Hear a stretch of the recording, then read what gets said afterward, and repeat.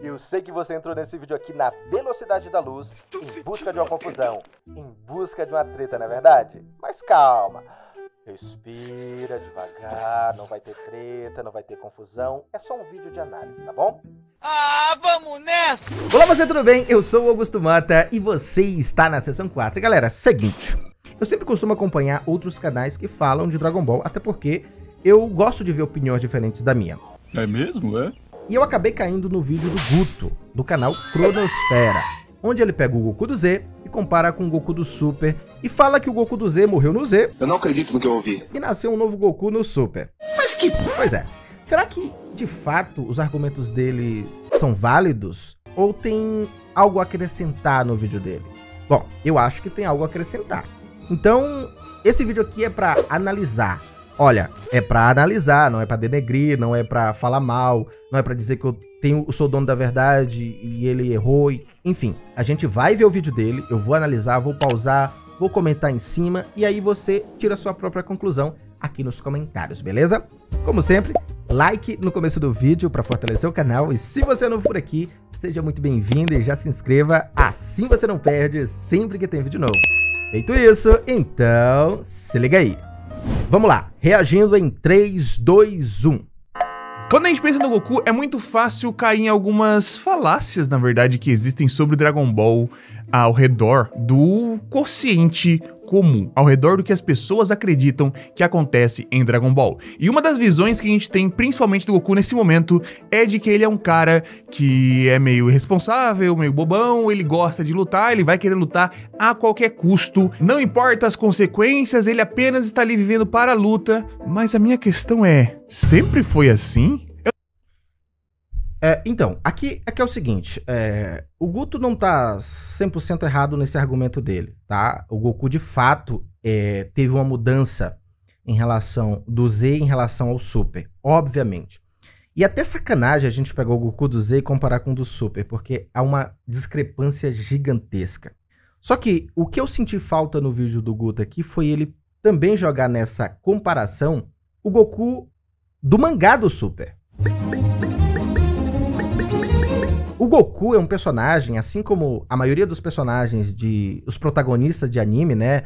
Naruto, é, Luffy, enfim. O Goku tem características nele que nunca mudaram, tá? Então, quando a gente fala assim, ah, me cita aí a, a- a personalidade do Goku, as características e personalidade do Goku. Então a gente vai chegar basicamente no senso comum que o Goku é bobão, brincalhão, ele é inocente em situações cotidianas da vida, ele é muito inocente, ele é, é tarado por lutas, né?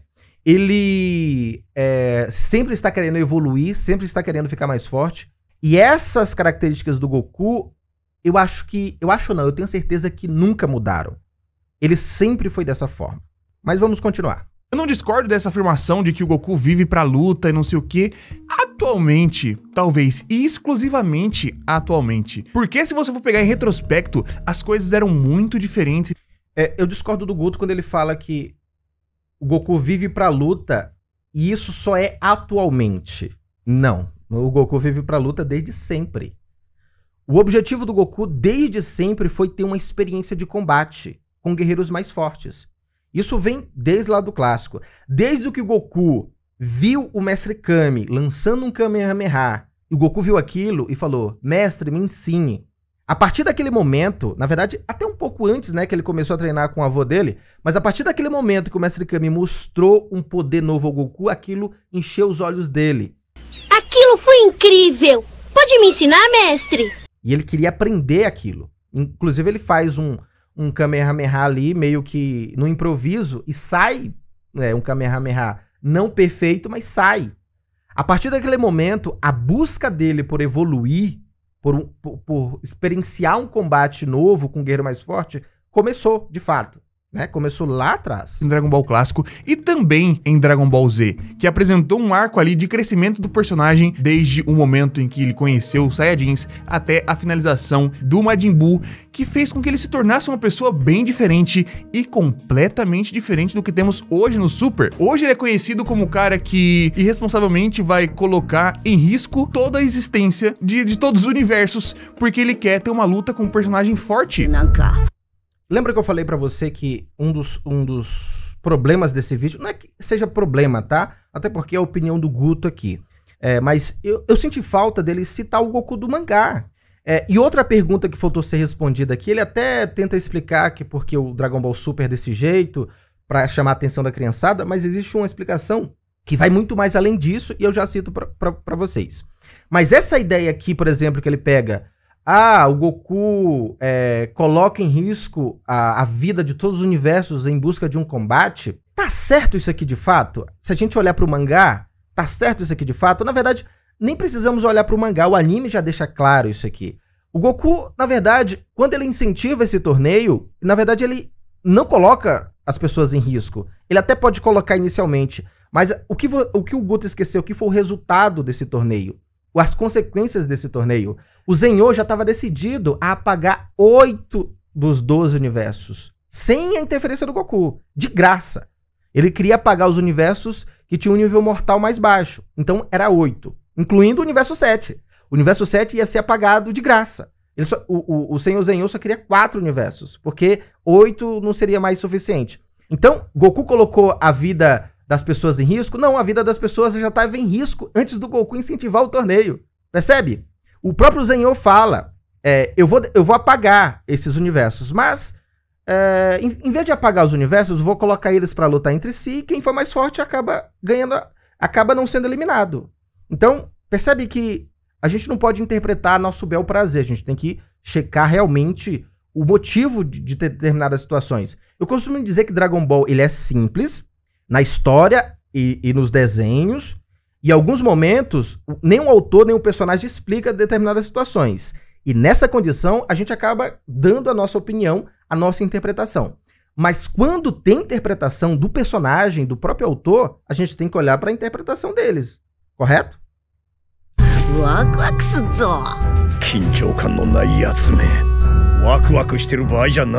e talvez isso tenha ecoado na cabeça das pessoas como se isso fosse o padrão para com o Goku. Ah não, o Goku é assim, ele é bestão, ele sempre gostou de fazer essas coisas, ele corre o risco. O Goku é assim? Acho melhor você se acalmar, assassino miserável. Você só pensa em si mesmo, Frieza. Diga-me quantas pessoas inocentes suplicaram a você para que não as matasse e você não teve piedade delas. Sente então, aqui é, o Guto coloca momentos sérios do Goku para tentar provar que o Goku do Z era mais sério, era mais, né, tinha, um, tinha uma personalidade diferente. E de fato ele tinha. Mas por que ele tinha? Porque o mangá foi construído assim. Esse Goku que tá ali com o Freeza é o Goku do mangá. Se você for pegar o mangá e comparar com o anime, quase é quase que perfeito a construção. O anime é, ele foi construído com base numa referência, diferente de Dragon Ball Super. E eu já vou chegar no Dragon Ball Super. Se você pegar os quadros, a, a, ali o, o, desenho do mangá e comparar com as imagens do anime, você vai ver que parece que eles é um copia e cola. É claro que não é 100%. Inclusive, é, é, a gente não deve incluir os fillers, né? Mas é, o anime é basicamente o mangá em movimento. Entendeu?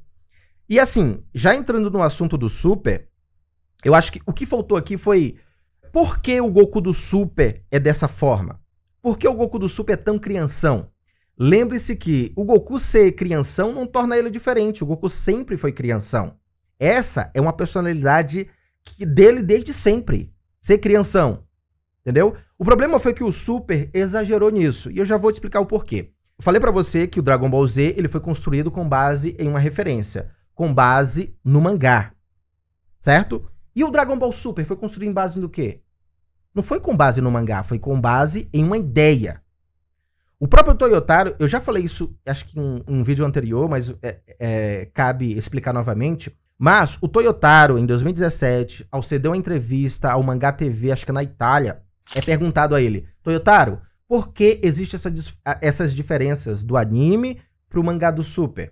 E ele responde que, na verdade, o anime e o mangá são construídos de forma independente. O, o, o Toriyama pega o esboço narrativo dele, envia pro Toyotaro, envia pra Toei, e eles, independentemente, constroem, construíram o Dragon Ball Super. Independentemente. Então, Dragon Ball Super, ele foi construído com base em uma ideia, e não com base em uma referência, como o Dragon Ball Z foi construído. Por isso que essas discrepâncias, por isso que essas mudanças, inclusive no Goku. Só que, se a gente voltar pro mangá, se a gente olhar pro mangá, você vai ver que o Goku do mangá é o mesmo Goku de sempre. É o Goku que começou lá no clássico e terminou na saga Granola. É o mesmo Goku. Não mudou nada. E quando a gente foca no mangá, que é ali a expressão real do autor, a gente vê que, de fato, o Goku sempre foi o Goku. Até mesmo o Goku do Super, da animação Super, as características deles principais está lá impresso no Goku do Super animação. Só que de forma exagerada. Só que o problema do Super, galera, na minha opinião, não é só no personagem Goku, é na edição do Super, o time. E mais pra frente eu vou te explicar o porquê.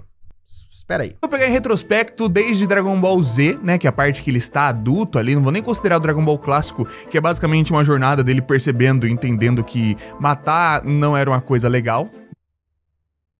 Como assim, Guto? Matar não é uma coisa legal?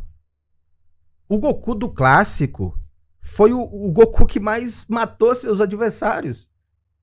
Inclusive, é, eu vou ver se eu acho, tem uma imagem, uma imagem até famosa, onde o, o, o, artista ele desenha o Goku em cima da pilha de cadáveres. E nessa pilha de cadáveres, você vê apenas que dois é, vilões que o Goku eliminou em Dragon Ball Z, que é, acho que o Yakon e o Kid Buu. O restante é tudo do clássico. Então, o Goku, o Kid Goku, o Goku criança, foi o maior assassino de Dragon Ball clássico. O objetivo do Goku numa luta é ter uma experiência de combate onde ele melhore a cada, a cada, a cada enfrentamento. Então, o objetivo do Goku no final das contas não é derrotar o adversário, humilhar o adversário ou matar o adversário. Se o adversário se render, o Goku obviamente que ele não vai eliminar o adversário. Mas no caso bem extremo em que o adversário não quer se render, não quer é, é, dar o braço a torcer, é óbvio que o Goku vai eliminar o adversário.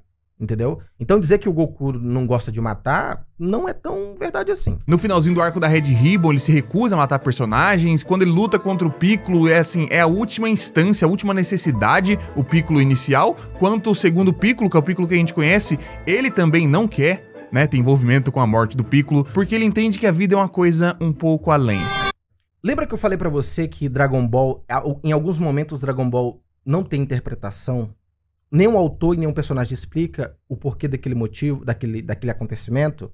Quando não existe explicação, cabe sim uma opinião pessoal. Eu sempre trago vídeos aqui no canal onde eu trago a minha opinião pessoal, quando não tem explicação, mas quando tem, eu trago a explicação do autor, mesmo que seja boba. Mesmo que a explicação do autor seja ridícula, eu trago a explicação do autor. E aqui, galera, tem explicação. Não só explicação do Goku, mas explicação do autor. Por que o Goku não eliminou o Piccolo? Porque ele pensou na vida do Piccolo? Obviamente que não. O Goku não eliminou o Piccolo porque, eliminando o Piccolo, Kami-sama também seria eliminado. Kami-sama é uma pessoa boa. Kami-sama é alguém que o Goku gosta. É alguém que o Goku não queria ver sendo morto. Além disso, Kami-sama morto significa esferas desaparecendo.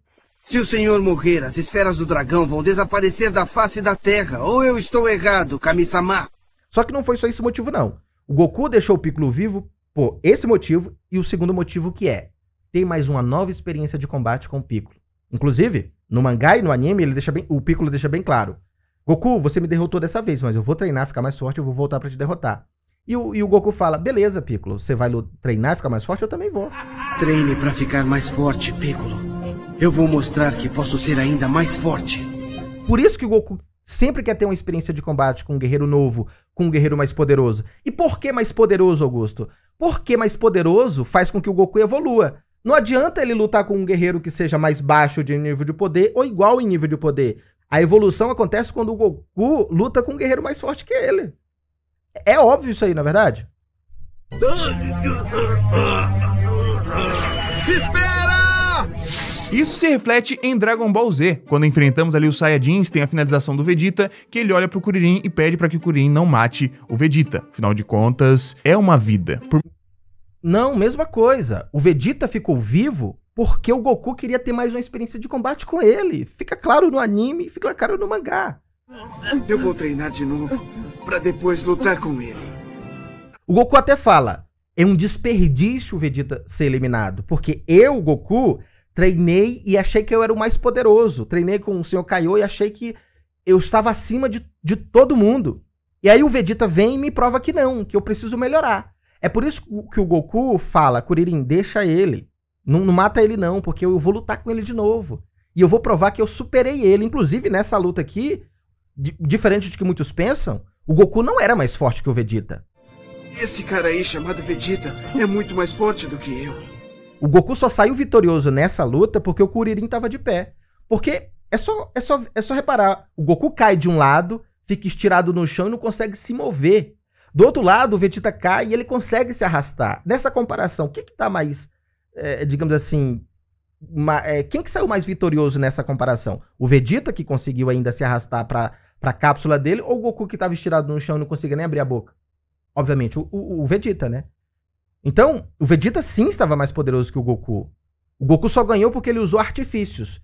É, Genkidama, usou Kaioken. Isso são artifícios que tornou ele. É, que deu um, um, breve momento de força para ele. Saca? Se o Kuririn não tivesse ali, o Vegeta teria escapado e ninguém saberia pra onde o Vegeta foi. Mais que tenha vindo para cá, oferecido ameaça e tudo mais, ele entende que o Vegeta é um personagem um pouco mais complexo que dá para se lidar de outras formas, dá para se dialogar. Por favor, eu lhe peço, deixe ele ir, por favor. Eu discordo porque assim, ó. É... Lembra, o Goku falou que queria ter uma nova experiência de combate com Vegeta. Queria se superar. Só que, quando o Goku ele vai pro hospital e fica lá acamado, todo enfaixado, ele descobre que em Namek existia alguém mais poderoso que o Vegeta, que é o Freeza. O Goku descobre. Quando o Goku descobre isso, sabe o que o Goku faz? Ele fica animado. Ele fica animado. Como assim? O Vegeta já era muito poderoso. Existe um cara mais poderoso que ele? Não pode ser! Um Ki mais poderoso que o de Vegeta? Quem será? Inclusive o Goku já logo pede pro, pro pai da Buma construir uma nave, fica empolgado, e aí ele vai até o pai da Buma e fala: a nave tá pronta, eu quero, isso, eu quero ir logo. E ele faz isso por quê? Porque descobriu que existe um cara mais poderoso que o Vegeta. Inclusive, o Goku deixa até o Vegeta de escanteio. Sabe a promessa que o Goku, o Goku fez ao Vegeta que ia lutar com ele de novo? Isso nunca aconteceu. Não por livre e espontânea vontade. A gente sabe que na saga Majin Buu, o Vegeta meio que obrigou, obrigou o Goku lutar. Mas porque era uma promessa que o Goku tinha feito lá em Dragon Ball Z. Percebe? Que sempre foi por, por ter uma experiência de combate com um guerreiro mais poderoso? Como é? Você está falando sério? E de qualquer forma ele tá mais forte do que o Vegeta, então ele poderia não parar ali caso fosse a situação. No arco do Freeza, ele tem um pensamento um pouco mais desenvolvido nesse sentido, porque ele poupa o Freeza, não por querer lutar contra o Freeza no futuro, não porque o Freeza merecia misericórdia, não, porque ele já tinha destruído o Freeza. Ele destruiu o Freeza da maneira que o Freeza nem mesmo poderia lidar com ele mesmo só dei a você um pouco da minha energia. Acho que com isso você já vai conseguir se mexer. Pro Freeza, perder, ainda mais pra um Saiyajin, era ainda mais humilhante do que a morte. Então Goku venceu o Freeza completamente, deixou ali, no final das contas, o Freeza com algum tipo de energia, o Freeza tentou atacar ele e ele eliminou o Freeza.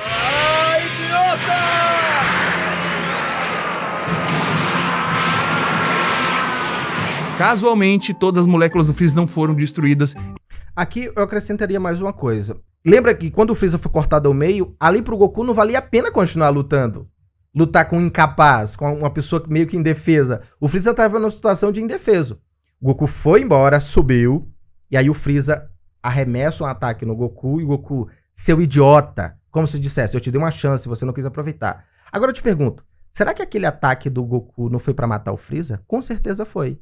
Só que o Goku não sabia que o Freeza era tão resistente dessa forma. Entendeu? Cara, o Freeza é tão resistente quando ele volta com aqueles pedaços lá, o olho dele pisca. Tá, quer dizer, o, o Freeza precisa ter poucas partes do, do corpo para ter vida. Então, é, o Goku realmente lançou aquele ataque para matá-lo. O Goku não pensou na vida do Freeza, é que, que ele pensa em vida. Não. O Goku deu uma chance, não quis, então morra. Aquele ataque foi para matar. Saca? Ele acabou ficando vivo. O que o Goku comentou que, né, deve ter sido um erro dele. Ele deveria ter certificado que o Freeza estava morto em Namekusei, quando voltou pra Terra. Você matou cruelmente pessoas inocentes, uma após a outra. Aí você pega, passando rapidamente, saga dos androides. Ele já deixou claro ali que eles precisavam lidar com os androides e acabar para não ter nenhum problema, como foi com Freeza. É, na verdade, na saga dos androides, eles três anos antes, eles poderiam ter eliminado o Dr. Gero. Inclusive, era uma sugestão da Buma. A Buma falou: gente, já que a gente já sabe toda essa história, que vai surgir um doutor que vai criar uns androides, por que a gente já não elimina ele, ele agora? O Goku fala: nem pensar, Buma. O Vegeta também fala: nem pensar, não ouse fazer isso. E por que o Goku fez isso? Porque ele queria ter uma experiência de combate. Sempre foi para ter uma experiência de combate. Sempre foi para se superar. Então... Eu, eu sinto muito, mas a verdade é que eu também quero lutar. Então, eles tinham a possibilidade de impedir os androides de surgirem, mas eles não quiseram. Justamente por causa da luta, do combate. Céu. O céu é uma coisa que é muito dúbia. As pessoas confundem muito a questão do céu. Não é que o Goku lutou por piada, lutou com mau gosto, lutou porque ele queria enfrentar o céu apenas pela luta. Na verdade, esse é o céu, né? O céu é um personagem que veio aqui com todas as características dos guerreiros Z. E o céu quer lutar apenas pela luta. Mas o Goku, ele deixa claro ali quando ele conversa com o Gohan. Ele lutou com todas as forças e não conseguiu vencer o céu. É isso mesmo. Eu já perdi esta batalha. Não quis dizer que ninguém vai lutar com você. Tenho certeza de que o próximo lutador vai acabar com o um grande torneio do céu. Ele deixa a luta para. Assim, essa, essa luta do Goku com o céu, na verdade. Não sei se você lembra, mas quando o Goku sai da sala do tempo, e para onde que ele vai diretamente? Ele vai até o, o Mestre Karim. Ali, juntamente com o Mestre Karim, o Goku, ele amplia o seu Ki, ele mostra todo o seu poder que obteve treinando na Sala do Tempo ao Mestre Karim e pergunta, Mestre Karim, com esse poder que eu tenho aqui, é, há chance, existe alguma chance de eu eliminar o céu? O Mestre Karim fala, não consegue, Goku, você não consegue. Mas vou ser honesto, o nível do céu é mais alto que o seu. Não consegue, né? Então, o Goku, ele já foi lutar com o céu sabendo que não poderia derrotá-lo. Ele já sabia. Ah, então, se o Goku sabia, por que ele fez questão de lutar primeiro? Por dois motivos, na minha opinião. Primeiro, para lutar, né? O Goku, é óbvio que ele treinou um ano lá na sala do tempo, obteve novos poderes. Tu acha que ele não ia querer lutar?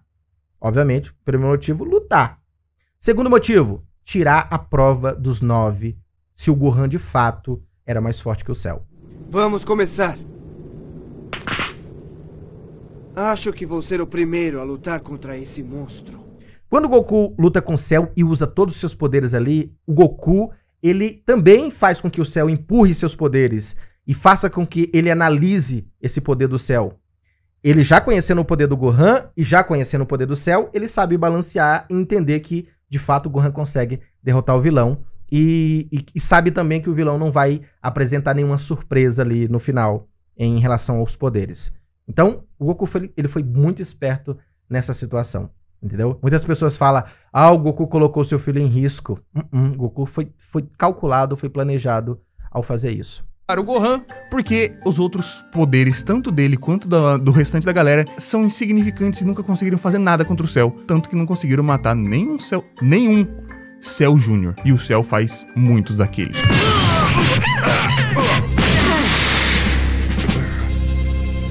Seus poderes são surpreendentes. Esse Nanico pode me vencer. Então a parte do céu também foi uma questão dele não ter poder e deixar com quem poderia lidar com isso. Não pura irresponsabilidade em botar a vida do planeta em risco. Na verdade, aqui você pode até pensar um pouco do Gohan nesse sentido, mas faz parte do processo de amadurecimento dele. Gohan!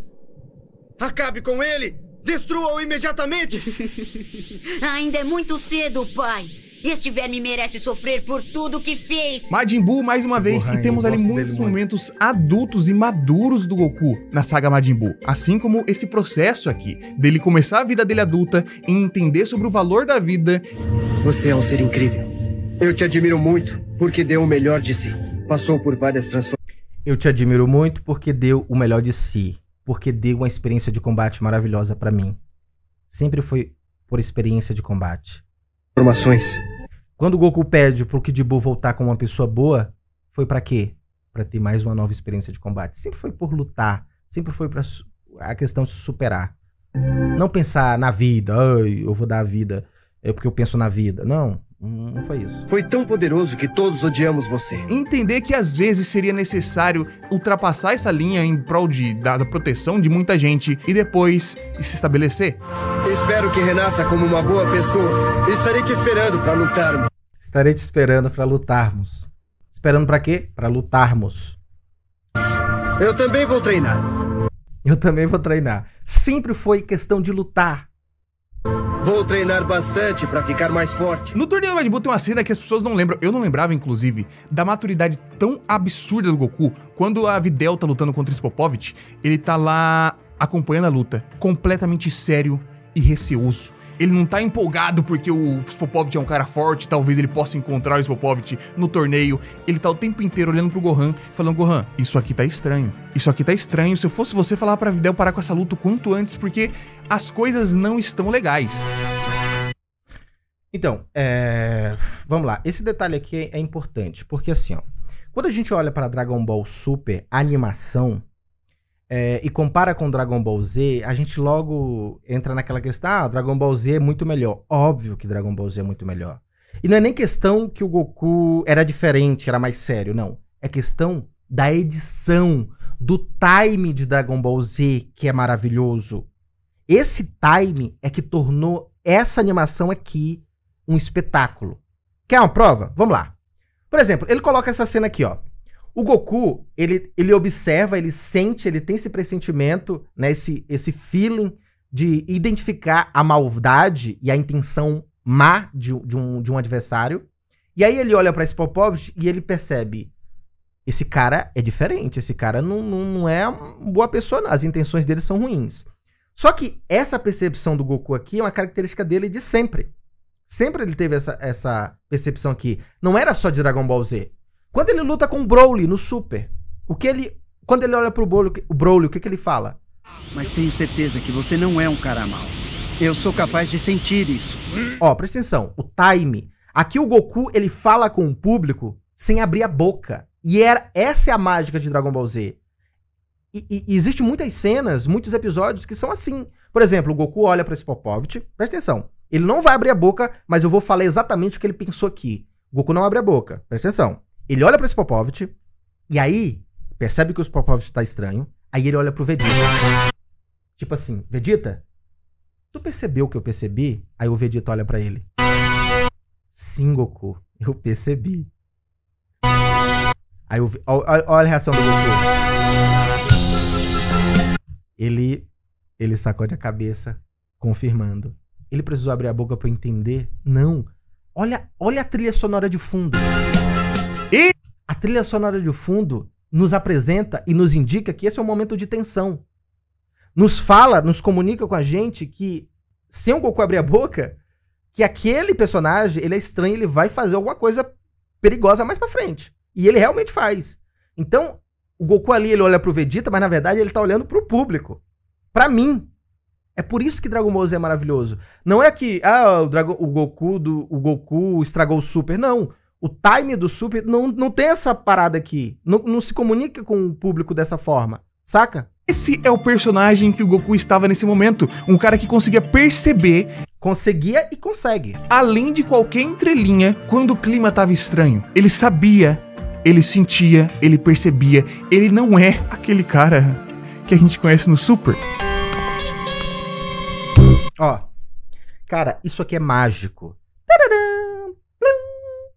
Aqui você já entende, é um momento de tensão. E, e Dragon Ball Z tinha muito isso de câmera fechada no rosto do, do, do personagem, câmera aberta para identificar onde o personagem tá. E, e, algumas cenas de luta, muitas vezes acontecia isso. Vinha o vilão, vinha o mocinho, um fica na frente do outro, encarando o outro, e há um, um clima de tensão. Aí corta pra uma cena de deserto, o vento passando, o feno rolando. E aí cria aquele clima de tensão, o personagem, o vilão dá uma engolida de saliva, cai um suor aqui escorrendo. Muitas pessoas falam: "Ah, mas Dragon Ball Z era muito lento". Essa lentidão que tornou Dragon Ball Z espetacular, porque essa lentidão, essa esse clima tenso é o que é, é o que se comunicava com o público. O público tirava suas conclusões sem mesmo é, o personagem abrir a boca, como é o caso dessa cena aqui.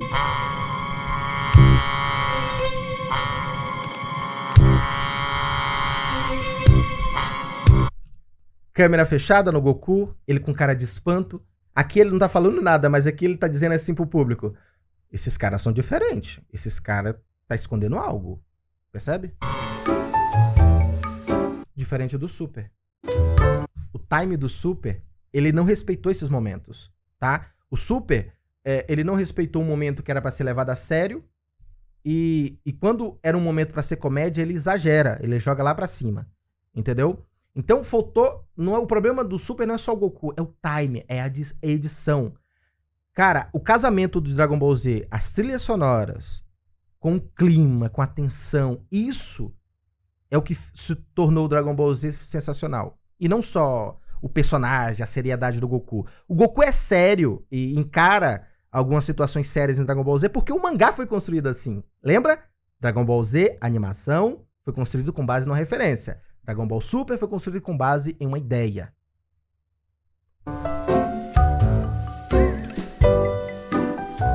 Só para finalizar, o arco do Majin Buu a gente termina com o Goku prontamente eliminando o inimigo com um sorriso no rosto, triste por ter que eliminar uma criatura da vida e tudo mais, porém pedindo para Imar que ele renascesse. Então ele tem esse, esse peso de tirar uma vida ali um pouco mais amenizado, porque ele quer que aquela alma renasça como uma pessoa boa. E ele faz isso. Por quê? Porque senão Majin Buu ia destruir o universo. Adeus, Majin Buu. Não é o Goku do Super. O Goku do Super, mais uma vez lembrando, ele coloca em risco a vida de todos os universos o tempo inteiro. Vários e vários e vários momentos. Ele vai lá, pô, vai tretar com, com, com, alguém importante. Ele poderia usar todo o poder dele. Ele fala: Não, vou deixar aqui essa pessoa se desenvolver, porque eu quero ver o nível de poder dela. E fica ali acompanhando. E aí as pessoas. Não é como se ele quisesse ver o nível de poder das pessoas e ele fosse mais forte do que todo mundo. E... O Goku. É, é como se quisesse ser mais forte que todo mundo, na verdade o Goku nunca declarou isso. Na verdade, ele nunca quer ser mais forte que todo mundo. Ele quer enfrentar um guerreiro mais forte que ele. Lembra? O Goku falou lá no, no, no antes de atingir o presságio. Eu não quero chegar na perfeição, porque a, a perfeição é o limite. Eu chego num limite. Eu não quero chegar num limite, eu quero sempre estar evoluindo. Sempre estar evoluindo. E não é mais forte do que a galera do Torneio do Poder. Tanto que, bom. E ele não fala que quer ser mais forte. Ele quer encarar pessoas mais fortes. Quase perdeu inúmeras vezes lá dentro. Pra um. O torneio do poder não foi só um torneio de sobrevivência, foi um torneio de aprendizado. O Goku aprendia enquanto lutava. Inclusive, o instinto só aconteceu graças ao Mestre Kami, que deu uma lição a ele, relembrou a ele como controlar sua mente.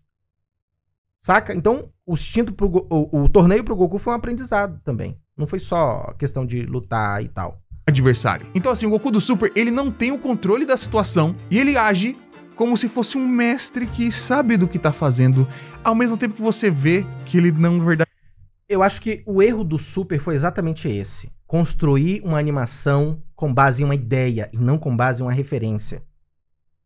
Cara, isso foi assim, estragou demais, porque por isso que existe muitas diferenças e essa confusão toda quando a gente compara é, é, o, o, anime com o mangá, entendeu? Só que quando a gente olha pro mangá, e repito novamente, o Goku é o mesmo, não mudou nada.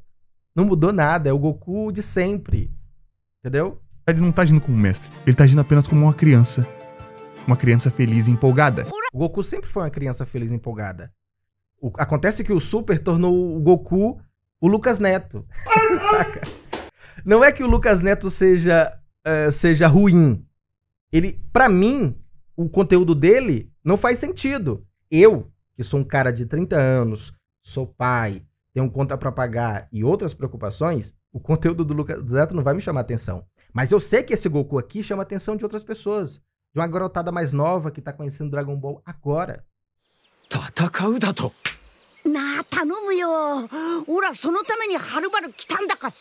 Isso, assim, vou dizer pra vocês que é uma questão de decisão mesmo. É, talvez pela renovação de Dragon Ball Super, o estúdio olhou e falou: putz, o personagem do Goku Pode ser uma decisão, tá? Na verdade, foi uma decisão. Eles decidiram criar duas obras é, independentemente uma da outra, que foi para mim foi o pior erro que Dragon Ball Super cometeu. Foi uma decisão deles e uma decisão errada. Pod- Poderia ser uma decisão acertada, mas pra mim foi uma decisão erra- errada. Só que o resultado foi positivo. Então, por mais que eu não tenha gostado de certos aspectos, é, no final das contas foi positivo. O sendo um cara velho, um mestre, que é assim que ele termina Dragon Ball, né? Sendo um mestre, talvez não seja tão interessante pro público mais jovem que a gente quer engajar em Dragon Ball Super. Talvez se a gente colocar um tom mais leve, bobo, inocente, caindo pro infantil, não apenas inocente, Goku sempre foi a vida inteira, mas caindo pro infantil, talvez isso tenha um apelo maior de público. Exatamente. Eu, Agora eu vou ser sincero aqui, tá? Eu, no lugar da Toei, eu pensaria dessa forma também. Só que pensaria dessa forma e executaria bem feito. Eles pensaram dessa forma e não executaram bem feito, tá? E assim que o Goku novo surgiu. Lembrando que esse é, não é um Goku novo, é o mesmo Goku, só que as características dele exagerada, tá? O Goku aqui se transformou no Lucas Neto. E nisso podemos cruzar com vários pontos aqui de infantilização desse personagem, como até mesmo a clássica cena do Goku falando que não sabe o que é um beijo. Tipo, é o tipo de coisa que faria sentido, mas putz, forçar pra um cara de 50 anos que tem dois filhos que ele nunca beijou, ainda mais a Titi, que sempre foi interessada nesse tipo de coisa, é apenas pela piada.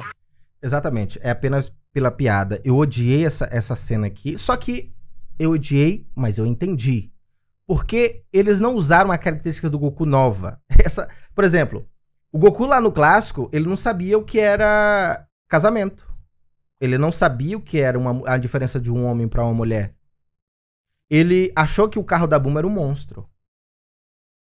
Ah, tudo bem. Ah, lá era o Goku criança e, e, e faz sentido ele ter falado isso. Já o Goku adulto não faz sentido.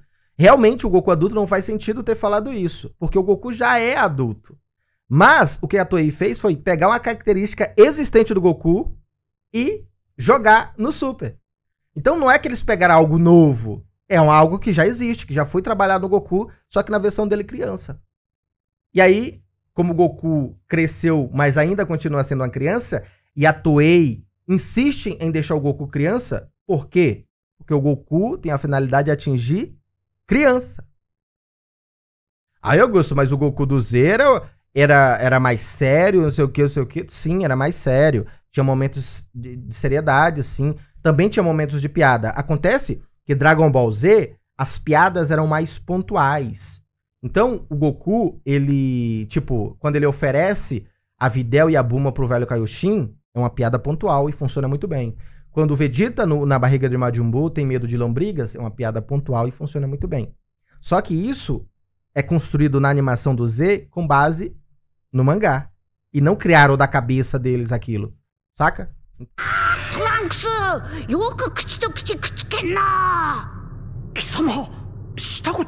Só que assim, é uma piada besta, não faz tanto sim, não faz tanto...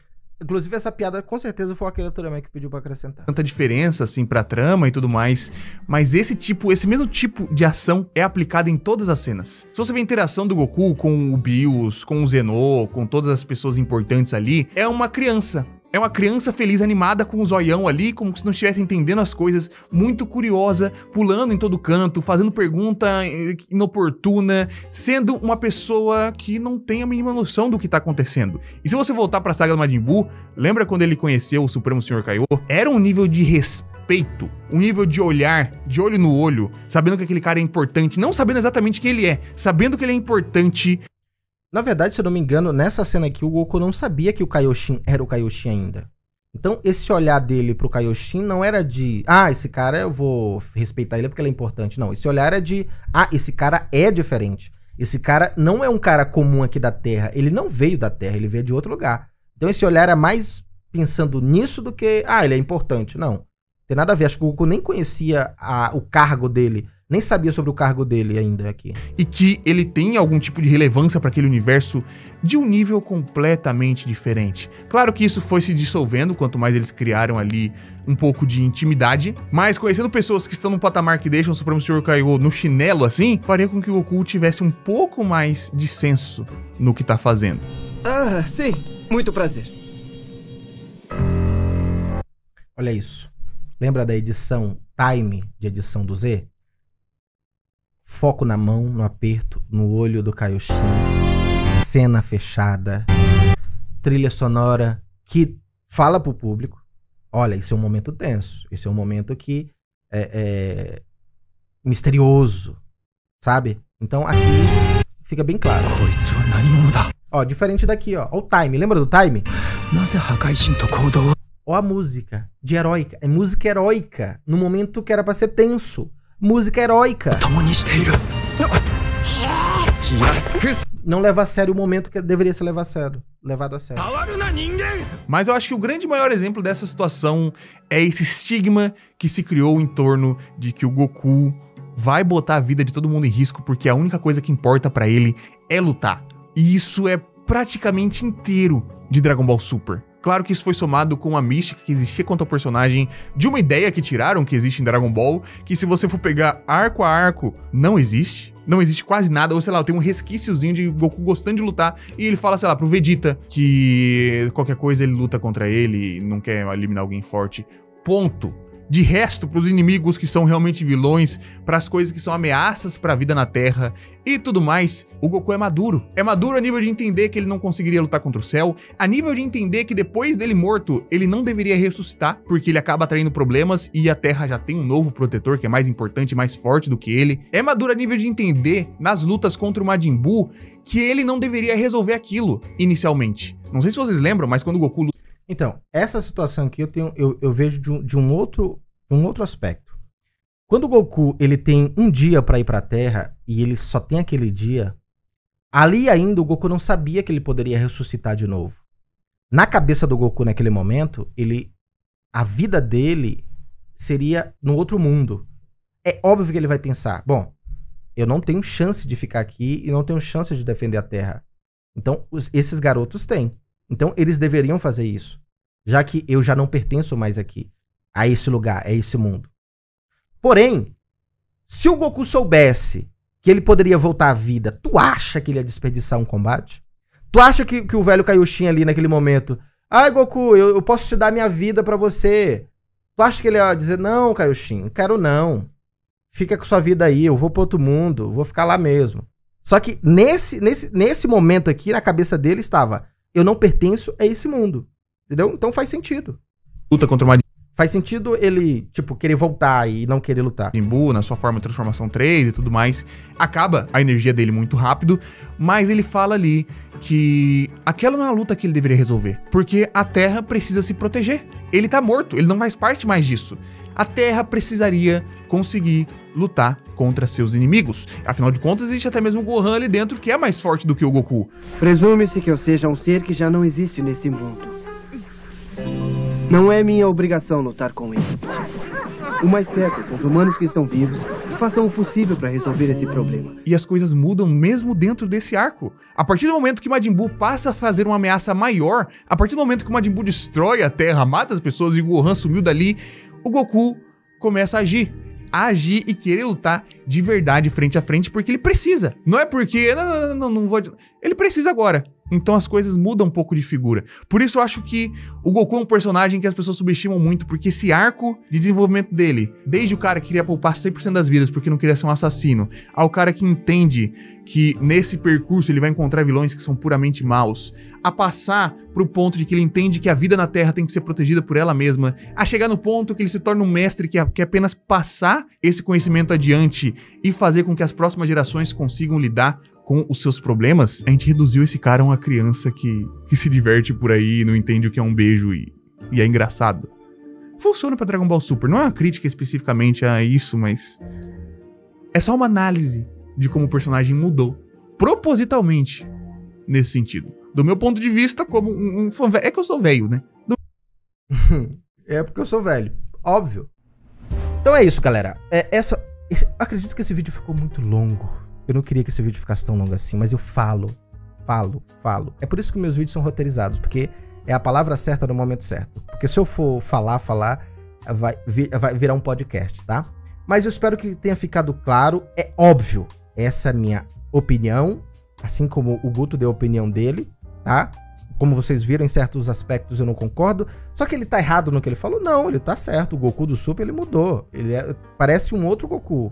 Entendeu? Só parece, mas ele não é um outro Goku, tá? Eu sei que ele talvez tenha usado isso aqui no sentido figurado e tal. Talvez um pouco para chamar atenção. E tentou ser um pouco filosófico também. Mas essa foi a minha análise, o meu ponto de vista.